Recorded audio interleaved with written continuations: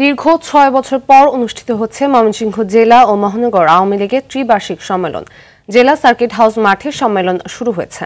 সকাল থেকে খণ্ড খণ্ড মিছিল নিয়ে সম্মেলনে যোগ দিয়েছেন স্থানীয় নেতাকর্মীরা।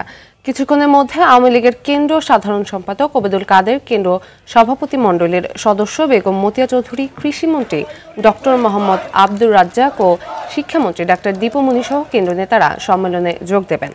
জাতীয় নির্বাচনের আগে এই দুই ইউনিটের সম্মেলন ঘিরে বাড়তি উন্মাদনায় দলীয় নেতাকর্মীরা। তাদের প্রত্যাশা দলকে শক্তিশালী করতে পারবেন এমন নেতৃত্ব সম্মেলনের মধ্য দিয়ে উঠে আসবে।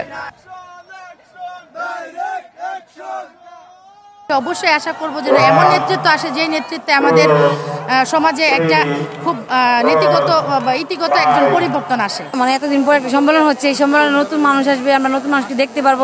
তাতে আমাদের অনেক আনন্দ হচ্ছে। আমরা চাই দলের দুর্দিন দুঃসময়ে যারা আওয়ামী লীগের পাশে থাকবে বঙ্গবন্ধুর কন্যা শেখ হাসিনার পাশে থাকবে আমরা এমন নেতৃত্ব চাই। উন্নত বাংলাদেশ বিনির্মাণের জন্য ওই বিএনপি জামাত রাজাকারের চক্রান্ত ধ্বংস করতে পারে।